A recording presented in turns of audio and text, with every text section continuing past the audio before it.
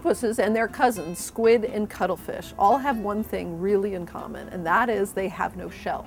And without a shell, they have to be able to protect from predators.